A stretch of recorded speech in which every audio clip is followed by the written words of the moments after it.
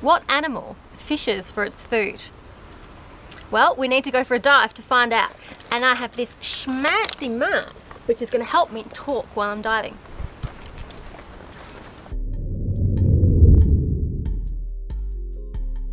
Here's a clue. They're the world hide and seek champion. They love seafood, have a fishing rod on their face, look like seaweed, have no teeth, swallow prey whole, and have webbed hands.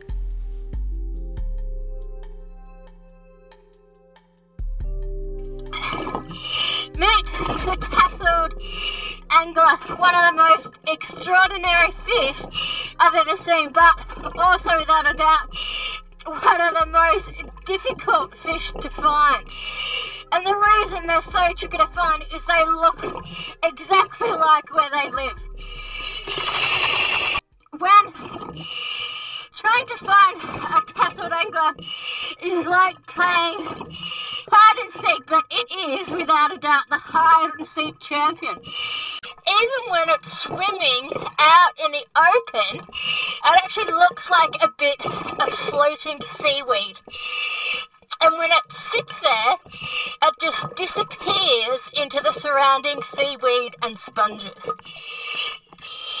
When it comes to the camouflage of the tasseled angler, it's so elaborate. If you look closely, you can actually see on its eyes, they actually have tasseled and camouflage across their eyeball. So, so well camouflaged, they just disappear and they're a real treat to find. It's kind of like Christmas for me when I find one out in the wild. They look like a big bit of floating seaweed, even when they're moving. And what's interesting, when they're moving, you can actually see their fins are actually webbed. And they're kind of like hands, which they help to move them around. They're not the greatest swimmers, but they don't have to be. Because their camouflage is so elaborate, they can pretty much just sit there and hide from predators. Now this fish I really love because it just sits there and it lets the food come to it.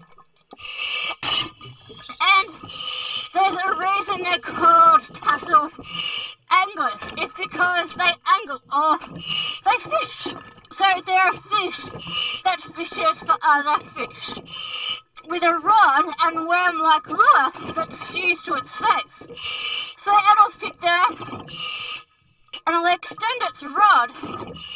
At the end of that rod is a little worm-like lure, which it wiggles to attract prey. Now, it feeds super, super quickly. If you blink, you'll miss it feeding. Now, any fish that's silly enough to take the bait gets gobbled up whole. No, no time for chewing, just one big gulp.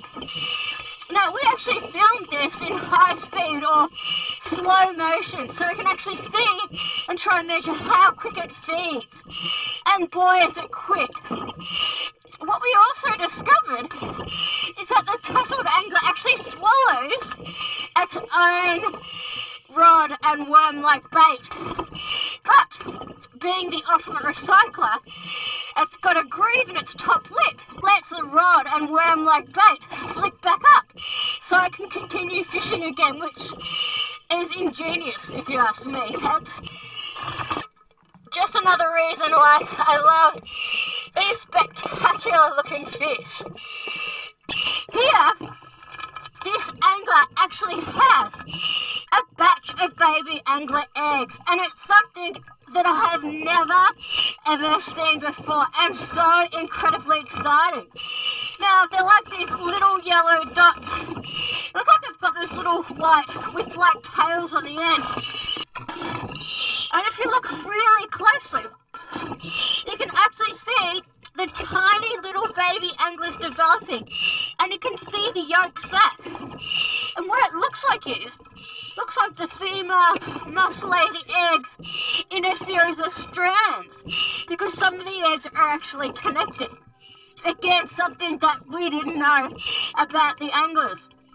And looking, you can see that you can see their mouths, you can see their eyes. Some of them are doing acrobatics in the air, but it doesn't look like they have the tassels yet. So I'm thinking they've probably got a little bit more development to go.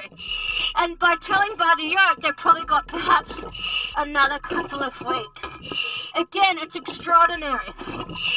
And you would think that they would have to have the tassels when they hatched, being really tiny.